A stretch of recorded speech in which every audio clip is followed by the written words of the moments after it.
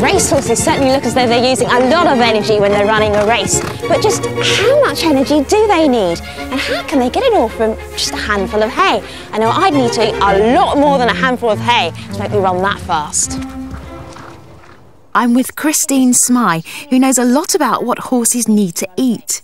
They need a tremendous amount of energy. We measure energy in kilojoules. Standing here, we'd be using around five kilojoules per minute. And if we were to run a three minute race, we'd be using 150 kilojoules. And that would be approximately the energy equivalent of this much beef burger. That's not much for beef burger.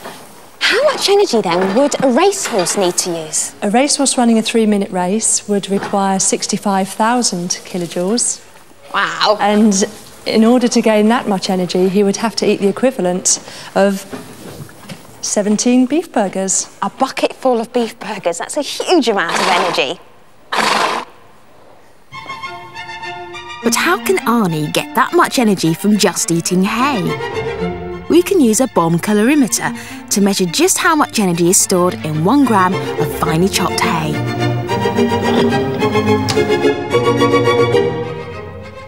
So, one gram of hay contains 8 kilojoules of energy. So, for one race, Arnie would have to eat this much hay. But racehorses can't spend all their time eating. So, most are also given food pellets, which are very high in carbohydrates. Watch.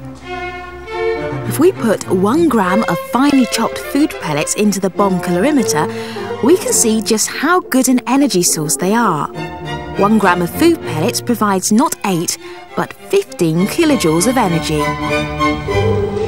As well as high energy food, horses have another advantage in the energy stakes. They have a very efficient respiratory system. Hello. Hello. Hello, Jeremy. I'll leave you two to it now. At the Equine Sports Centre, Jeremy is able to study just how efficient a horse's respiratory system is. This looks like a major piece of equipment. But why do you ever need to measure a horse's respiration? Well, sometimes horses don't run as well as we know they can. And this equipment is an ideal way of finding out just why. Because in many cases, it's because a horse can't get enough oxygen down to burn the fuels in its muscles. So, Arnie, let's get you kitted up and see how you check out.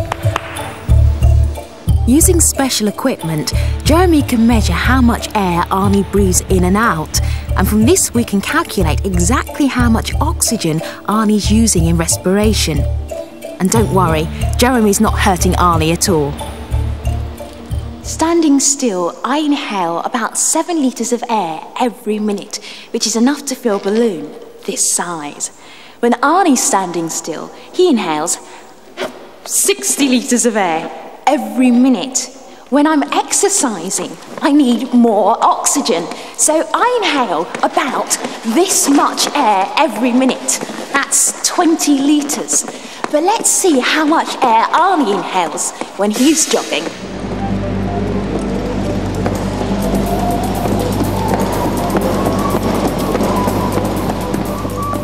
To release the energy Arnie's using, he's certainly inhaling a lot more air than I am standing next to him. In fact, he's inhaling an amazing 2,200 litres of air every minute.